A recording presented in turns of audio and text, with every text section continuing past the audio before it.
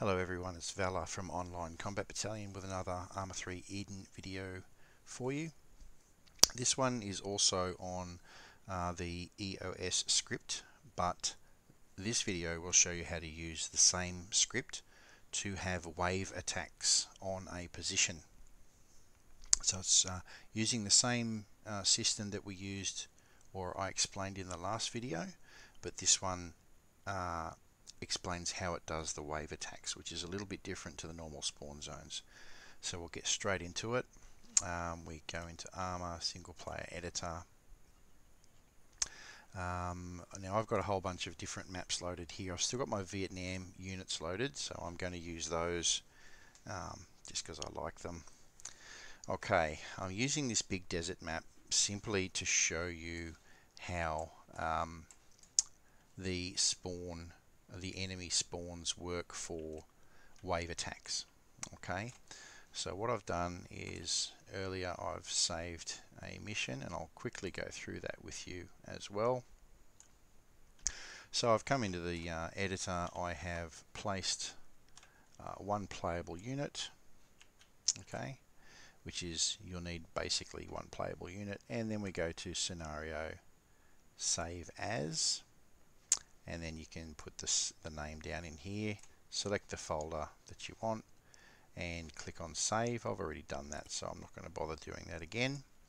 Uh, what that will do is it will give you the um, it will give you a folder within your MP missions folder if that's where you've saved it to or go to whatever folder you have saved your mission into. Okay inside the uh, mission folder, uh, which you get to by going to this PC, Documents, Arma 3 Other Profiles, your playing name, MP Missions, because I save all mine as co-op, and then I've put them into a separate folder so I can find them easily.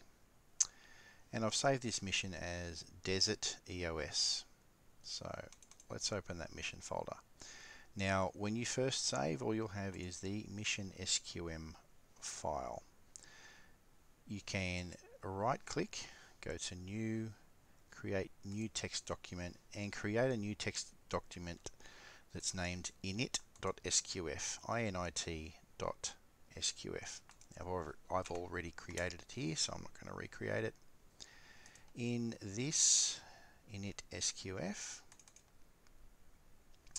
I have the line of code to activate the enemy occupation system script and that is simply open bracket close bracket space exec vm which is exec v for Victor M for Mike and in, in inverted commas eos backslash openme.sqf and then we close it with a semicolon. So I've already, I've already got that saved there um, so we don't need to worry about that, but you need that in this folder. Also need to grab the enemy occupation script uh, folder and I explained how to do that and where to put it in the last video on the EOS script. In here we've got the uh, folders core and functions. You don't need to look at those. What we're interested in is the OpenMe. Um, I did explain in my last video the unit pools and how to place custom units in there in case you don't want to use the standard vanilla Arma 3 units and let's face it who does? Uh, so openme.sqf is the one we're going to have a look at.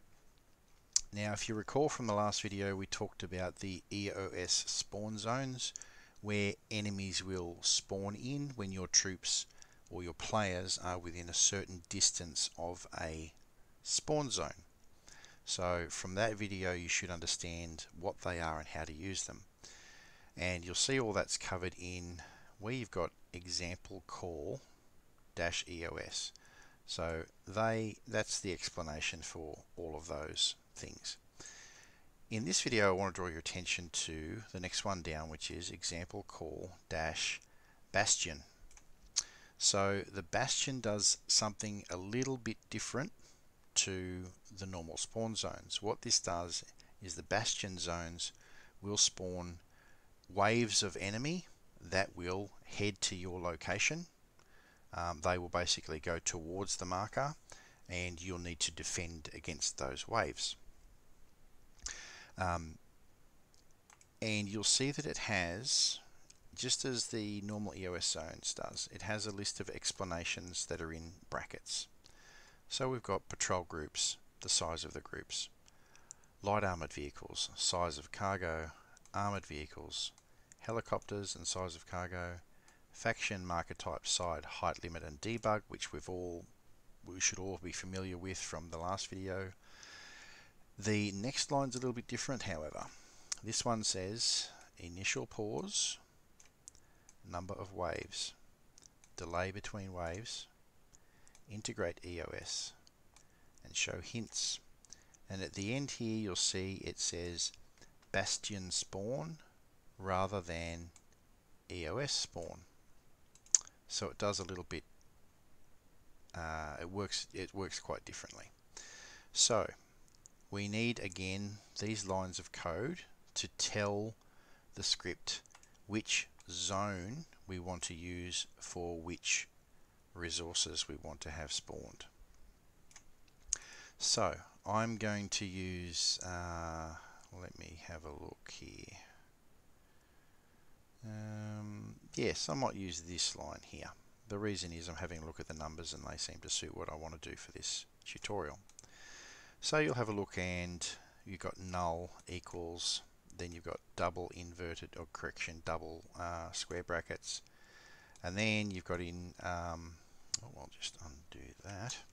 You've got uh, inverted commas, and then you have a, a name here which is BAS underscore zone underscore 2.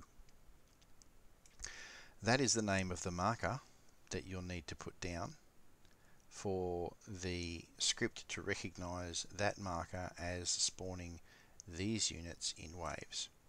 Now just as uh, with the EOS zones, all of these numbers in the series of brackets here, they all correlate to these descriptors, descriptors sorry, here. So the first one we're looking at here is uh, uh, which is the 5 comma 2 which is patrol groups and the size of the groups. The next one which is 1 comma 2 is light vehicles and the size of cargo. The next one is 0 which is armoured vehicles. The next one is also 0 which is helicopters and the size of cargo so I don't want to use helicopters. Then you might be familiar with this next line a little bit from our previous video where we've got the 0 is the faction, uh, 1 is the marker type which means marker 1 can't be seen by your players, side, east, height limit, true. Now I haven't uh, set the debug, there's no debug in there but uh, you don't need to put that in I don't believe. I've never used it before and never had any issues you don't need to put that in there. Now the, the last series here is the firstly the initial pause which I have set here as 20 seconds.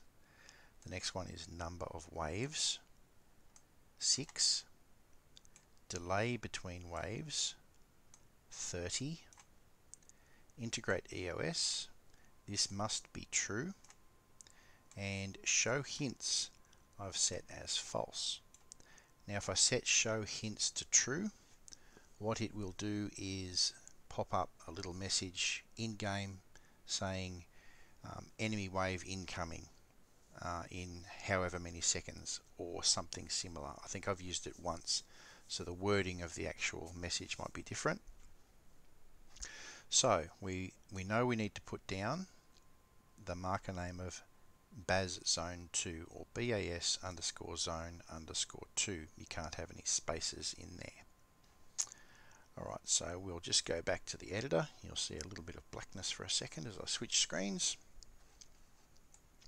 So, um, and we need to ensure as we have placed the EOS folder inside our mission folder.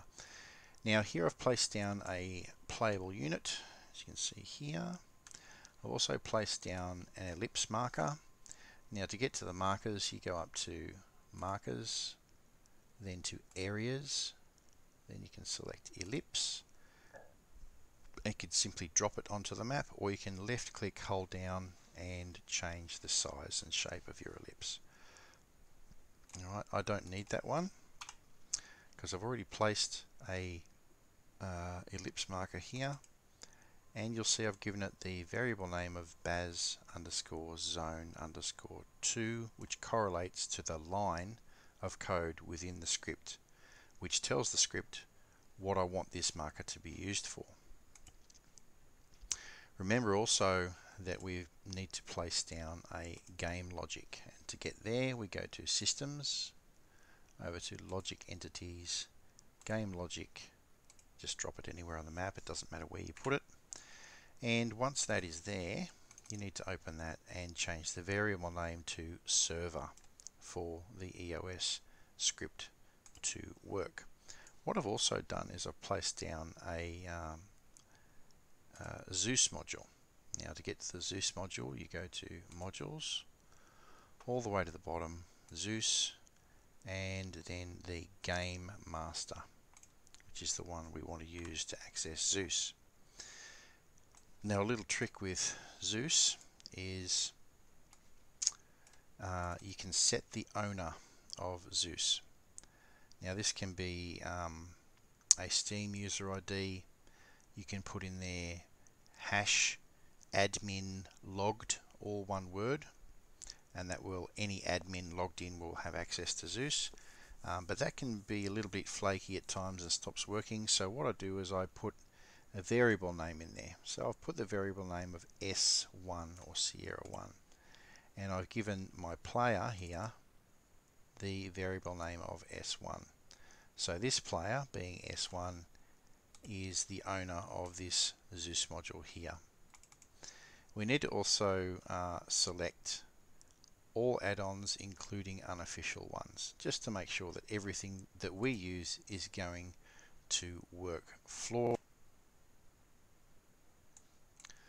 Okay, another thing, um, and by the way, the reason I've put Zeus down is so that you'll be able to see the units spawning and running towards the marker for the purposes of the demonstration to show that this does actually work. Um, a little trick also, which will require you to have the modification called Eden Enhanced. I'll put the link in the description. Once you have Eden Enhanced uh, loaded in the editor, if you go up to attributes and down to general you'll see an option here which has editable objects in brackets Zeus. If we check that and click OK any spawned units Zeus will recognize it will show them to you in Zeus and it will enable you the ability to edit them. Okay so uh, to recap, we've got our playable unit, um, we have our ellipse zone here, okay, we have our uh, game logic here, and again it doesn't matter where you put it, so I'll just put it here, which is a variable name of server, and I've put a Zeus module down, which I've just explained. So, uh, let's quickly go back and have a look at our script.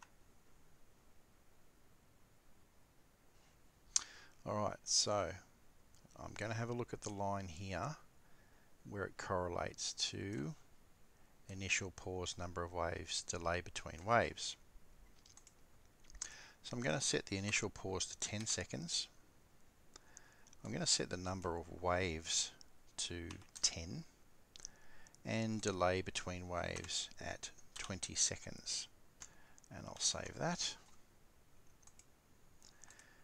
Uh, now let's run the mission. I'm just going to move my playable unit slightly out of the zone and I'm going to reduce the size of the zone just a little bit and it'll move the camera to make sure I've got the zone in the spot that uh, is the best for this demonstration and I think it is it's uh, it's actually pretty good So I know I'll need to run the direction that I'm facing to activate that zone.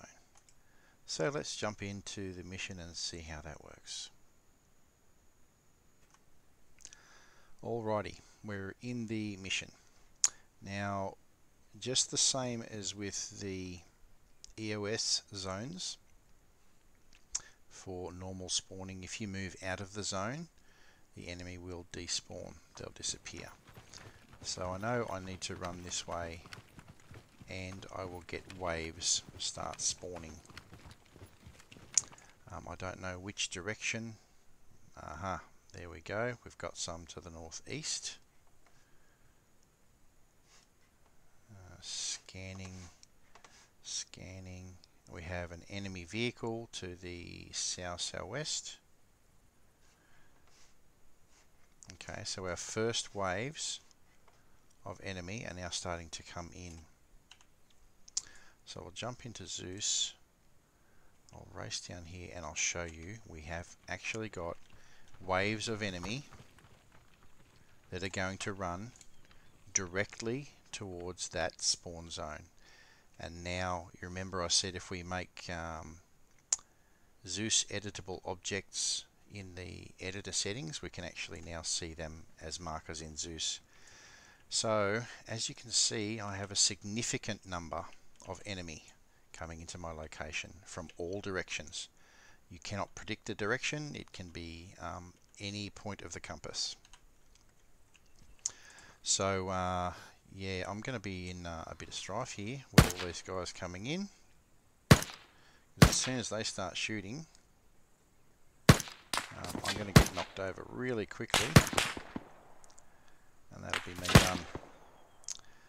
So, I will get the number of waves I have asked for. I will get the delay of waves that I've asked for.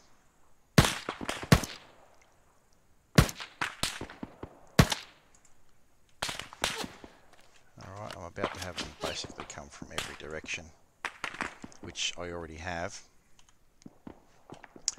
Um, now as you can see, um, I'm, I'm in a bit of strife here.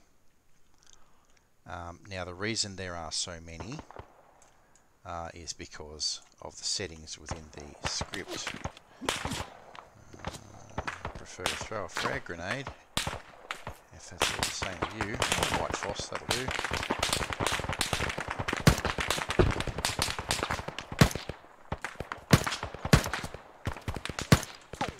So you can see that it, uh, it definitely works. Okay. So now we'll go back and I'll show you a couple of other settings that we can use to maybe reduce that a little tiny bit because uh, you don't want a massive AI load in your mission because it'll uh, cause your server to struggle quite badly. So we'll go back and have a look at the script and we'll just tone things down just a fraction. Okay, so we're back in the script and the reason I'm getting so many spawn is you'll recall from the last video we talked about the group sizes and how they are sorted so for example a group size of 2 actually equals a group of 4 to 8 troops uh, and so on. I have a group size of 5 which equals 16 to 20 troops and you'll see that the line that I have used here, the group size I have set is 5. Now that's probably a little too high, so I'm going to set the group size to, let's make it a bit more conservative, to 2. Okay, so 2. Now number of waves, sorry the initial pause is still 10 seconds, the number of waves is 10 delay between waves is 20. Now if you don't kill all those 10 waves you will within 20 seconds get another wave.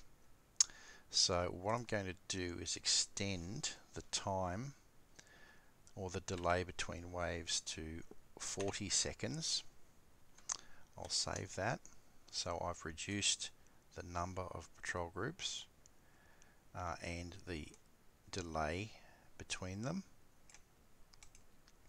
And that will function a little bit differently. You'll see there's not quite as many AI spawn in. And let's give that a test and see how okay so I'm going to play the scenario in multiplayer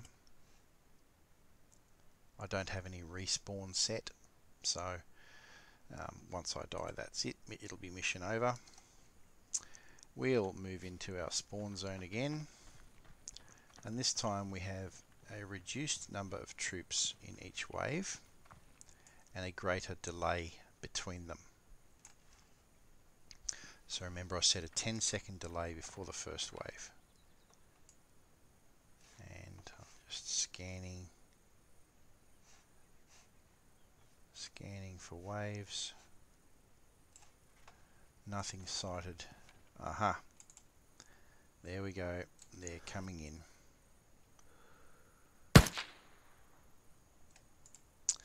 Alright, so I'll jump into Zeus. Uh, Zeus will take a little bit to pick them up so that we can see them quite clearly. I do hear a vehicle because remember we had light vehicles set at uh, 1 and cargo of 2. So I'm going to get one light vehicle and cargo of 2 is between 4 and 6 troops and you can see um, I'm going to be in a bit of strife shortly because these guys are going to be on me quite quickly. I don't have any AT weapons so uh, I'm hoping I can take the gunner out. There we go. Here's friends will now dismount, of course they will, and I've just been killed. So, that was actually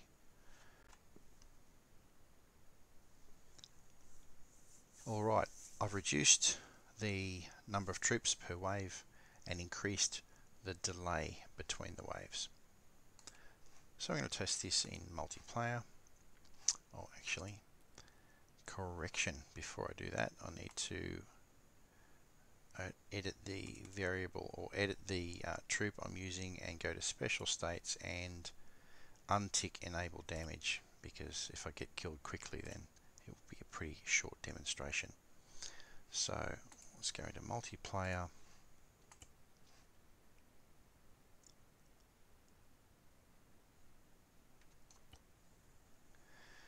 And we're in moving into that zone now.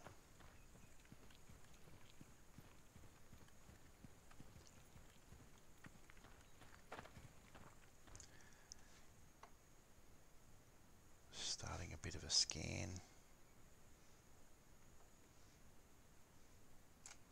To see if we've got any waves spawn in. Remember we had a 10 second delay on the spawning of the waves but thus far not seeing anything.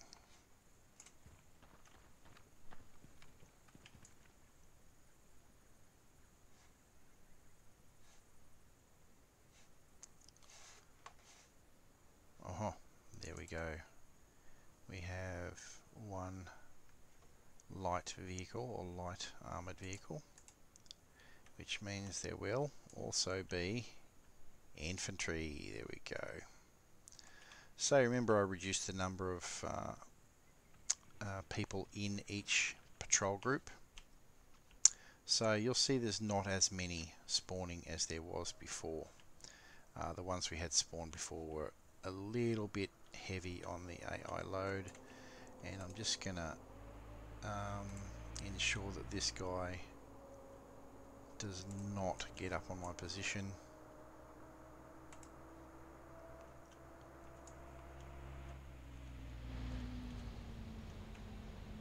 bit of uh, Zeus fire support, although that was, wow, it was quite slow. Okay, only one surefire away. That's the good old lightning bolt. Okay, so I should have uh, now enemy infantry fairly close on my position. I did believe they were fairly close. They are. Starting to scream over the hill now. Okay, and remember they will all run towards the direction of the marker. So this will give you sustained wave attacks until all the numbers specified in the script have been satisfied.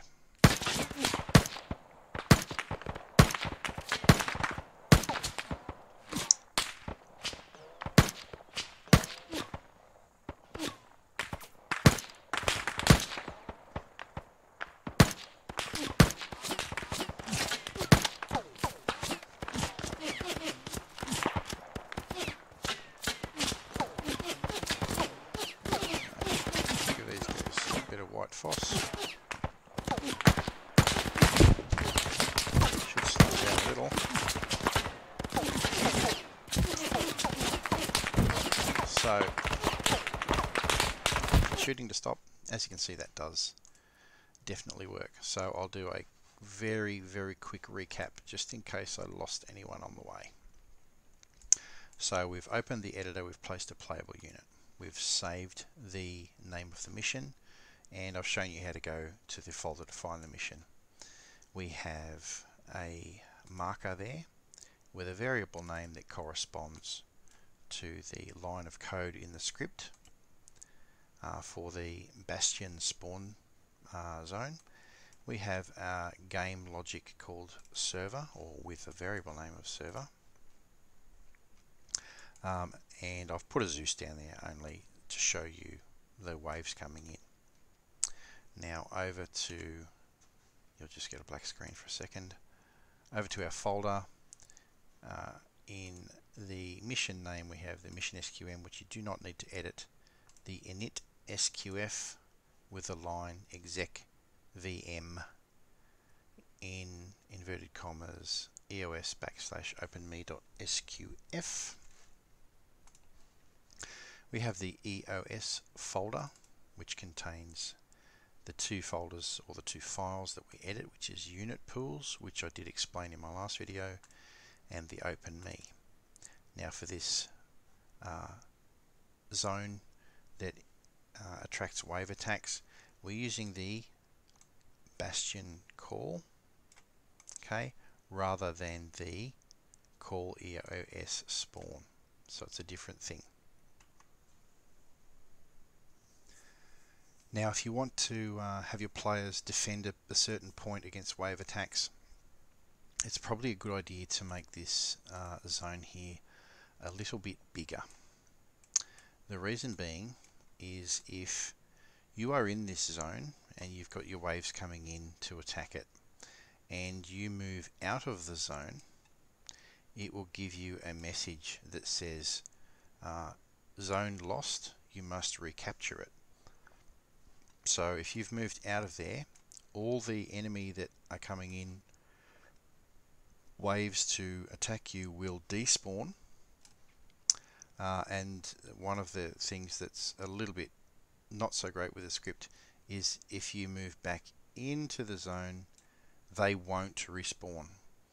The EOS zones do, but the Bastion zone does not. So it's a good idea to have your troops remain within this area to defend. Simple way of encouraging your guys to remain within is to uh, let's have a look um, uh, place down a uh, um, looking for something yeah no can't use that one. Place down something on the map um, that you can actually use as uh,